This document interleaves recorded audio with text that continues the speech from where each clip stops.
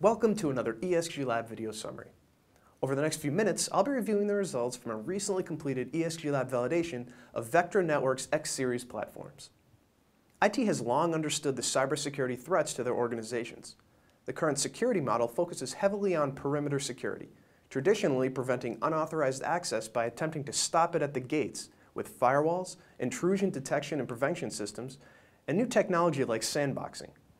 However, experience tells us that no system can be 100% successful in preventing all compromises.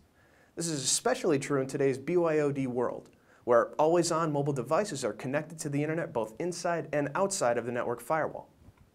Vectra X-Series is an inside-the-network cyber attack detection and reporting platform. Security researchers have developed a model of the cyber attack lifecycle.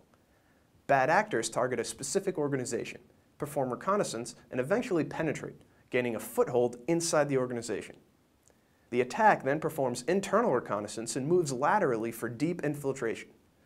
At each stage of the attack, network traffic patterns offer clues to the phase of the attack. The Vectra platform sits in the center of the network connected to the organization's core switches and continuously monitors traffic throughout the network.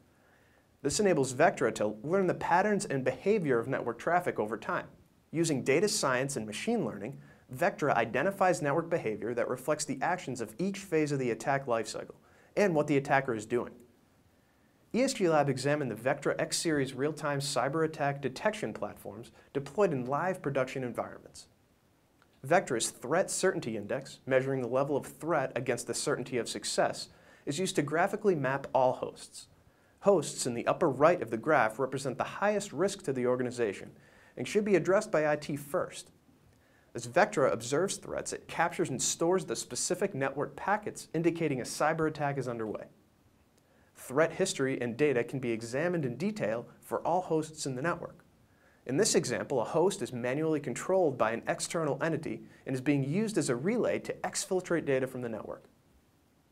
Vectra also provides a network threat detection history, which shows each attack phase observed by Vectra over time. This information provides administrators insight into their overall security and helps identify major issues such as periods of attack and weakness and changes in user behavior resulting in lesser or greater security. The security landscape is bleak, and it's only getting worse.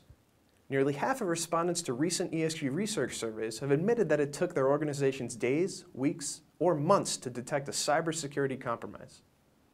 Less than one in five believe their organization has the right level of security skills, and even fewer believe they have enough security professionals on staff. Rather than relying on network perimeter checks of signatures to identify threats, Vectra observes network behavior over time. Using machine learning, Vectra detects threats by looking for patterns in network traffic that reflect the behavior of the attack lifecycle. Essentially, traditional perimeter security focuses on the bad actor's initial entry into the network whereas Vectra focuses on identifying all phases of the attack once the bad actor has gotten into the network, as well as on what the bad actor is actually doing once inside.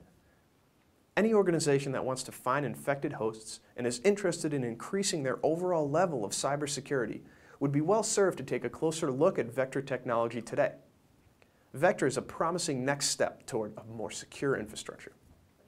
If you'd like to learn more, you can download the full ESG Lab validation report from the Vectra website.